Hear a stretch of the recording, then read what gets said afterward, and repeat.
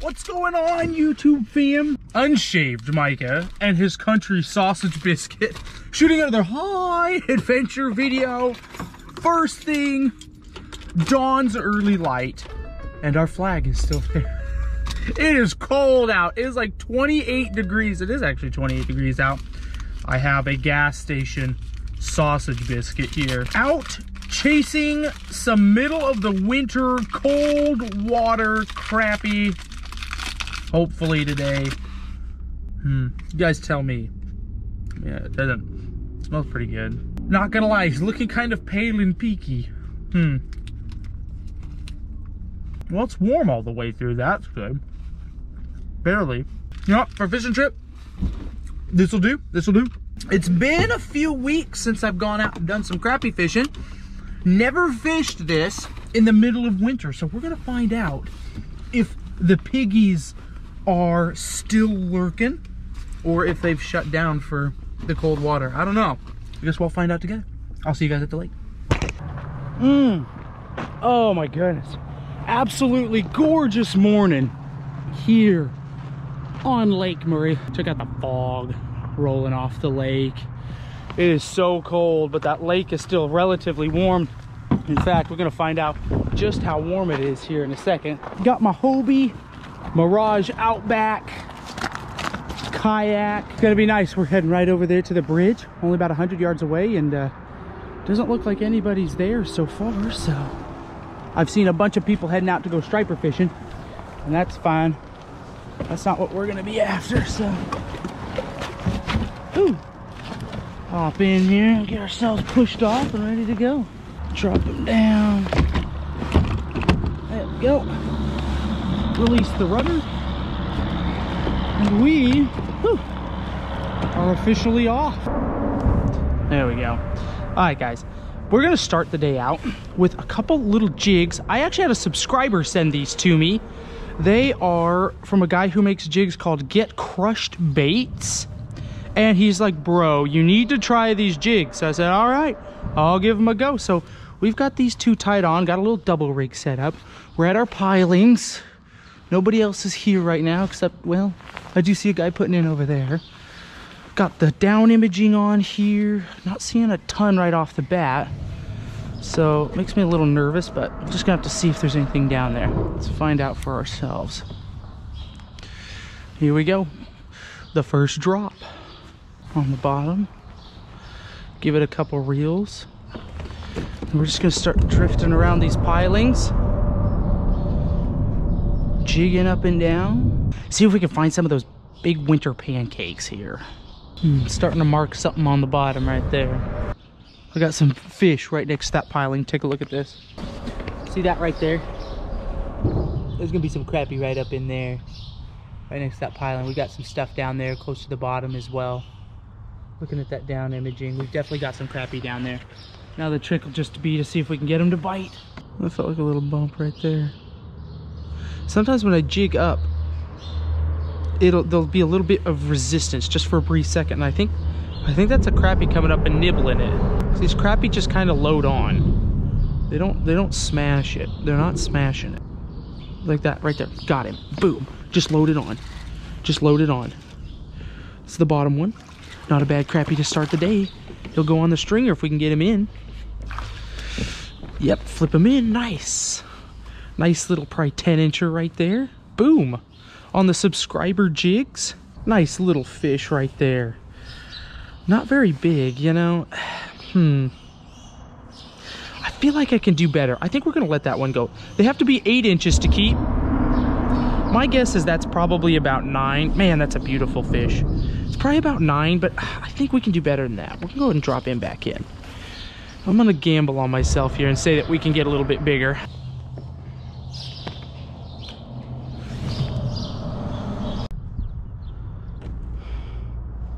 There's a bite. Got him. Got him, just loaded on. Feels like a solid fish right here. Yep, okay, this is a little bit better. It's a little bit better. There we go. On that bottom one again. Swing him aboard. Nice. That one will go on a stringer. Ah, check that out right there. There's a good 11 inch or so, maybe close to 12. Boom. That's what I'm talking about, right on that lime green. One of the reasons I'm using this uh, uh, a lot of the locals like the chartreuse colors. And uh, the guy, Get Crushed Bait, sent me uh, like three or four different varieties, but I thought I'd start with the chartreuse, which seems to be kind of like the local, uh, the local flavor. And so far it's producing. That'll go on the stringer. Perfect. There we go. Perfect. First fish on. Oh, lively little devil. That sun's coming up and these fish seem to be uh, waking up a little bit as well. Nice, guys. Let's see if there are any piggies down there, though. That's a solid fish, but it's winter time. And a lot of the people I've talked to, they say, you want to catch your trophy crappie? This is the time of year to do it. See if we can get a bigger one. All right. Let's get back down there. All right, big pancakes, where you at? I know there's some pancake crappie down there. The state record in South Carolina is like a five and a half pound crappie. Oh, there's a bite right there. So, I mean, I'd love the state record, but shoot, I'd settle for like a two pounder, three pounder. I've definitely never caught a crappie that size before. Oh, there was a bite right there. When I lifted up, something was on there. That's how light this bite is.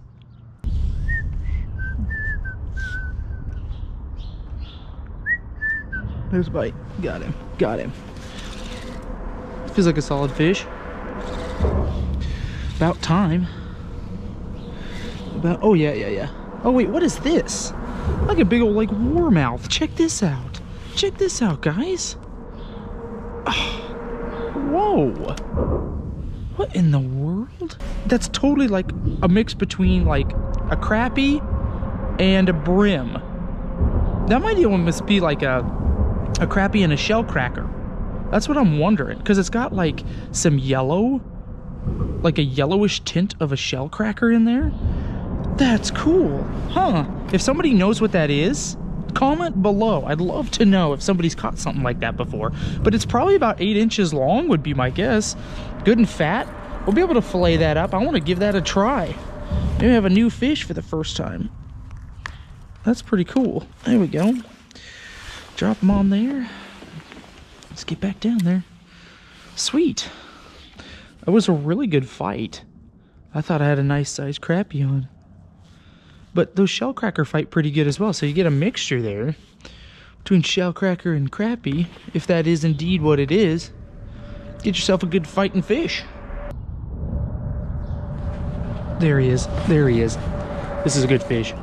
Oh, this is a weighty fish right here. This is a good fish. Oh, yeah, yeah, yeah, slab crappie. Oh, come on, come on, come on, come on, come on. Oh, come on, baby. Come on. Glad I brought the net this time. Come here. Yes. Oh, yes. That is what we're after right there. All right. All right. Check this fish out right here. Look at that. Look at that crappie. I'll bet that's a 13 inch crappie right there nice and fat. Beautiful fish. It's been slow, guys. It has been a really, really slow morning. And so finally to get a fish like that, and they're bigger. I mean, that's I mean that's a good fish. That's going on the stringer for sure. But uh, I mean, they get a lot bigger than that. I knew there were some pancakes down there. We got one of them. Let's see if we can get any bigger though. I'm after it. Let's do it. He just came up and boom.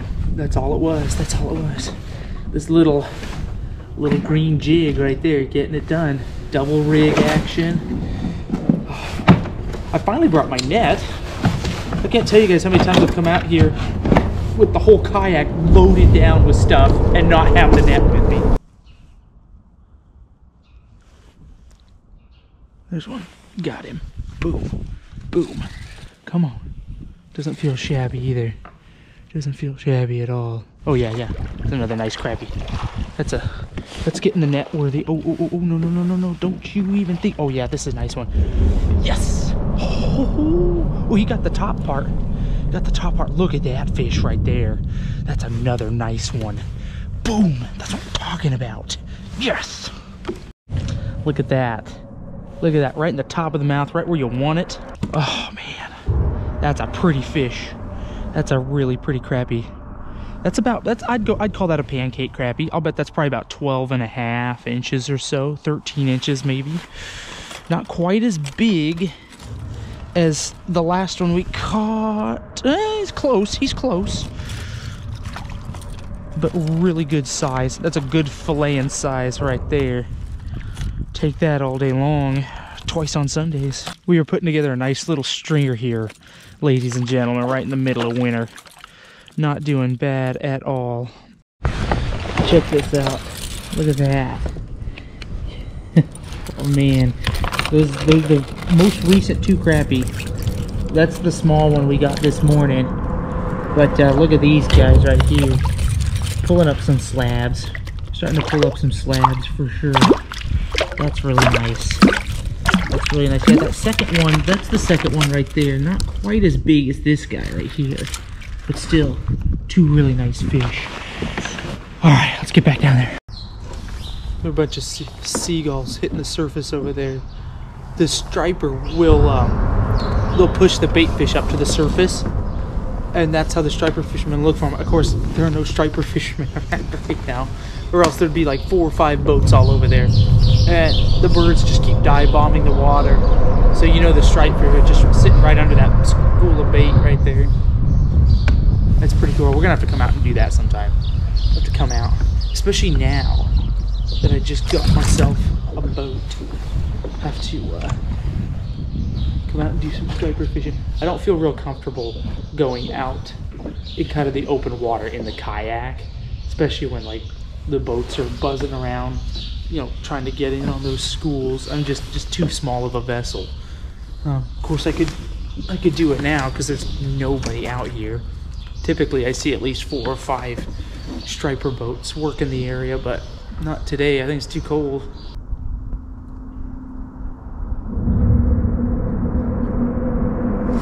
got it there. By that piling doesn't feel very big. Because he's not. Still though, they're still biting. Still biting, just a little slow. There you go. Be a boat snack right there.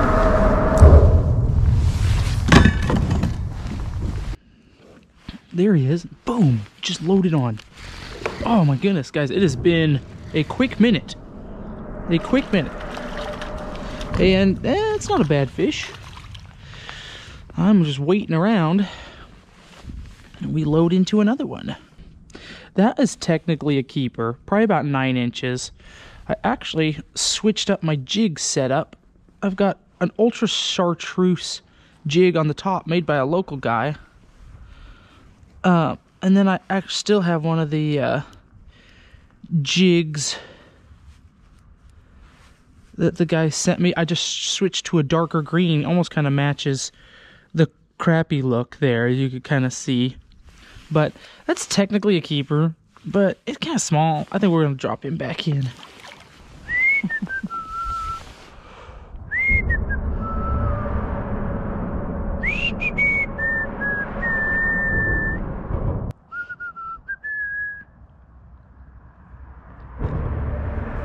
There he is. Aha! Floated it right past. I could see him down there. I could see. Feels like a solid fish. Yeah, this is a keeper crappie. This is a keeper. I can see him down there. And I was like, come on. There we go. We're cooking, man. Still hitting. They're still down there. I can see him down there.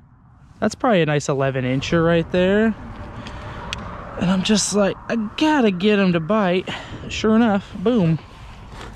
Right there. Boom. Nice.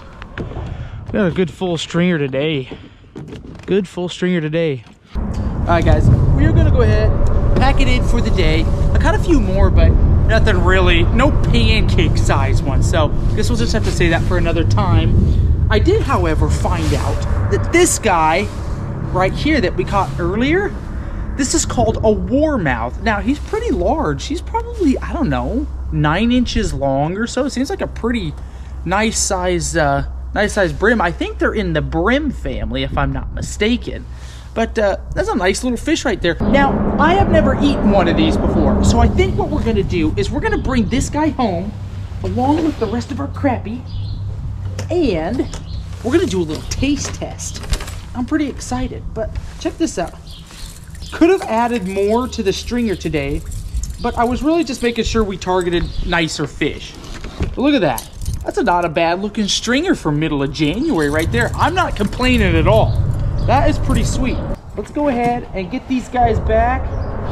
Then we'll go ahead and do a little cooking up at my house. All right, back at my house. Gonna be doing a little taste test here. Got our crappie and our warmouth. We're just gonna flay both of these up. This warmouth should be filletable here. Obviously, much smaller than the crappie. This crappie is one of the smallest crappie we caught. But still, I mean, I don't know. I've seen these before. This seems like a really nice sized one. Let's see we can work some filleting magic here. Nice and easy. Oh yeah, some white looking meat in there. I'm really excited to do this taste test. This should be a lot of fun. I have never eaten a warmouth before. Go lay that open just like that. Now we should be able to cut that rib cage out. Just slide under those ribs. All right. Oh, oh no, no, oh, did not want that to break off. I think we can still get this though. Slide right under the meat. Oh man, my RuneScape cooking skills just went up a level or two. Look at that. Oh, mama. Look at that. Boom. I'm the man. I'm not gonna lie. I'm just gonna say it. I'm just gonna say it. I'm the man. I am the man. My, my, my filleting skills have gotten so much better over the past probably year. Filleting is just one of those things like you're not going to be good at it right at first. You're just going to have to keep filleting fish in order to get better at it. I look back at some of my older videos, like some of my trout videos when I was filleting some of my trout. Oh my heavens. It was, uh, it was a little rough going, but that's just kind of how you learn. You just kind of, have to learn on the go. Almost there. Boom, all right. There are our two fillets. Fillets, whatever. I just like saying fillet. There is an L in there, so I pronounce it. There we go. I mean, not a ton of meat, but I'll take it. It'll be enough to do a good taste test. Now let's get this crappie done. Finish. Look at that. Even the smaller crappie, I mean, look at the fillet size difference. No real comparison, but we'll definitely be able to tell which one we like more. All right. Now, to do a true taste test, what we're going to do is we're just going to cook these in a little salt and pepper that I got here in some butter. Just to start out. Probably do like one filet a piece. So we're going to come over to my Pit Boss Pro Series grill here. Get this fired up. There we go. Turn it down low. Take our butter. Throw a dollop in there. Then over here, what we're gonna do is I'm just gonna take some salt. I think we'll use the bigger filet so I get a little bit more of a taste. We'll take the warmouth filet, a little salt on that side, as well as just a little pepper. Same thing with our crappie, just a little salt and pepper. All right, I'm gonna take our warmouth filet We'll go on right there. Take a crappie filet and set it on the other side right there. And we'll hit the other sides with a little salt and pepper as well. Perfect. Let that cook in the butter. That won't take long. Those are thin fillets. And we'll be ready to give it a taste test. Oh yeah, look at that golden brown. Gorgeous.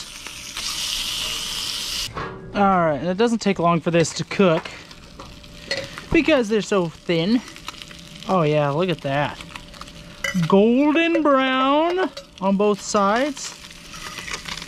Crappie should be the same way. Oh yeah, crappie's flaking. Oh yeah. Check that out. Let's go find out which one we like better. Oh, hi Poppy. Poppy is our resident one-eyed cat. Come here. Come here. Come here.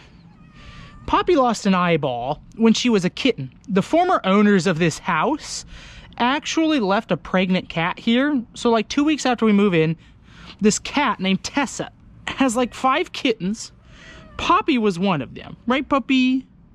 Poppy then, like a month later, loses an eyeball somehow. So we decided to go ahead and keep Poppy. We got her eye taken care of. It was like either have her eye taken out or she's gonna die. So we had her eye taken out and stitched back up. We adopted the mama cat and the other kittens out, actually.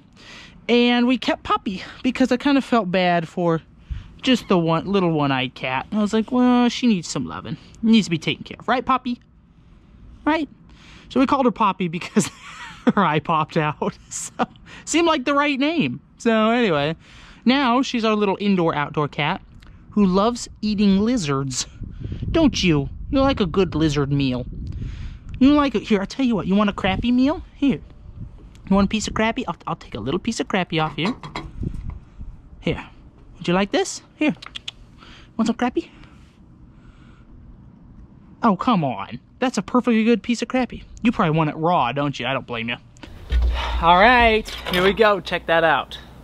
Little bit of each. I think what we're gonna do is start with the warmouth. Actually, first we're gonna say a quick prayer. Thank the Lord for our day. Well, I can tell you this, it smells good, even with just the butter and the salt and the pepper. So, what we're gonna do, we're gonna do the warmouth first. Mmm.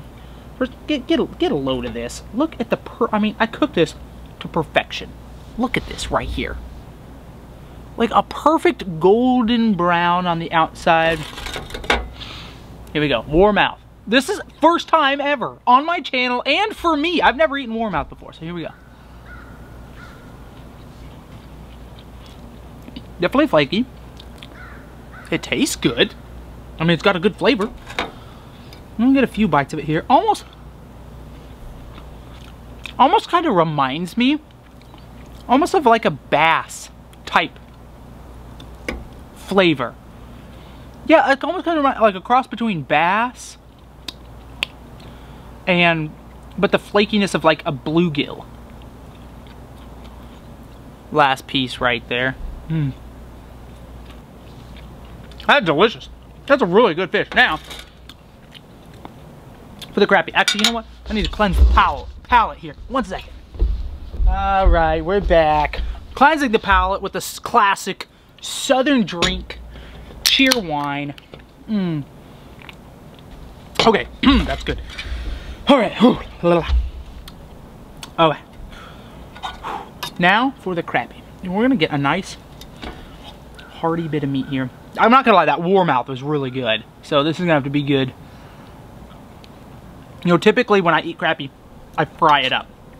That's like the way God intended crappie to be eaten. But this, you know, here's my thought. Crappie is good, but it's better fried. I'd rather have crappy fried. This is all right. This is solid. The warmouth, here's, here's what it is.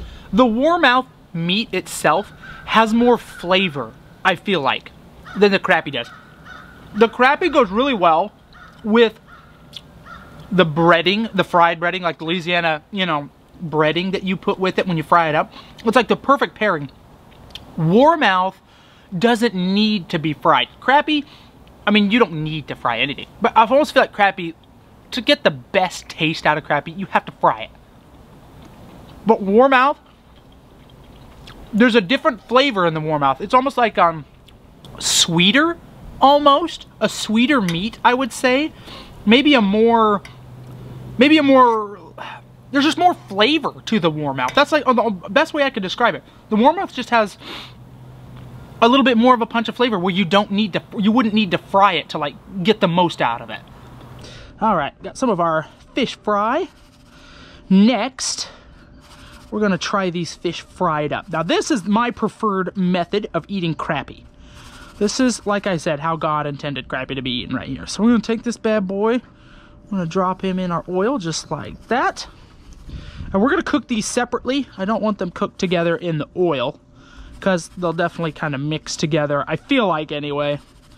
And there's no real way to keep them separate, unlike when you're cooking them in the butter in the pan. Just keep them on opposite ends of the pan. All right, looks like our crab is done. Go ahead and set him right there. Oh yeah, look at that, nice golden brown. A little bit of dark brown on there, perfect. Now we'll go ahead and take our itty bitty warmouth fillet, drop them in there. That's not gonna take long to cook at all. And last but not least, our warmouth. Looks like that's cooked to perfection as well. Nope. I have some Scooby snacks. You brought some Scooby snacks And I out with have you? This is my little girl, Arabella. Hi. you want to try some warmouth and some crappie? yes, please. All right, let's see. No, let's start with the crappie, all right, this time. Actually, you know what? Let's start with the warmouth this time. Yeah. Here you go. There you go. Is it hot? Mhm. Uh-oh. Right. Try. You can take it out of your mouth. You know, it's been too hot. No. Fresh, fried warmouth. Oh, Bella's got to show you her piece as well. There you go, baby. Oh, it's not hot anymore. Mmm, that's good, isn't it? Hi, adventure videos. That's right. Cheers. Package coming outside. Oh, there's a little dude coming out too. Mm. Mhm. Man, that's a good flavorful fish, isn't it? That warmouth, even fried, is really good. All right, have some water. I'm gonna have this. We gotta cleanse our palate and then try the crappie next. All right. It does bear noting that I also lightly salted and peppered the fillets as well. Ooh, look at that nice crispy bit. Mm. There It looks go. like chocolate. That made no sense whatsoever. Hey, dude, come on out. You want to try some fish? Here we go. Hey, dude. You want, you want some crappie? Here you go. Thanks. You're welcome. Good manners. Oh, you got Scooby snacks too. we both have Scooby snacks. That crappie's really good. Mm. What do you think, Bella? Pretty good. Which one did you like better? Did you like the first one or this one? Mm, You like that one? See, I would disagree. That warmouth was really good, guys. I, for me personally, the warmouth was better. Huh? You want to sit with me? Yeah. You go. You want some more? Yeah. All right. The warmouth just has a little bit sweeter flavor, just a little more flavor to the meat overall. Both are delicious. The crappie obviously is bigger and you get more meat. More bang for your buck with the crappie. The warmouth is much smaller. You want bite? But, uh, but man, I think I like the warmouth better, actually. Bella, you want that piece? Thank you. You're welcome. You're welcome. Crocky, you want this piece? Yeah. You can just hold on to that. There you go. There you go. If you've had warmouth before, tell me what you think. I personally actually like the warmouth better, which kind of surprised me. I didn't think I would, but a little sweeter, and I like it a little bit more. Do I need to go fry up some more crappie? Alright, alright. Thank you guys so much for hanging out with me today. And as always, I will see you in the next. I'll see you in the next one too. There you go.